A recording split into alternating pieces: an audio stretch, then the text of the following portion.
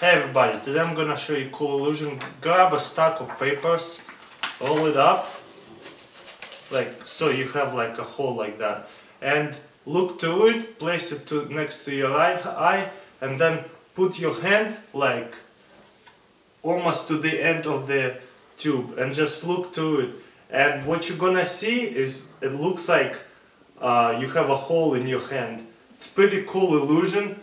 You guys check it out let me know what do you think experiment with that. And yeah comment below let me know what do you think. Thumbs up that video subscribe and check out my next experiment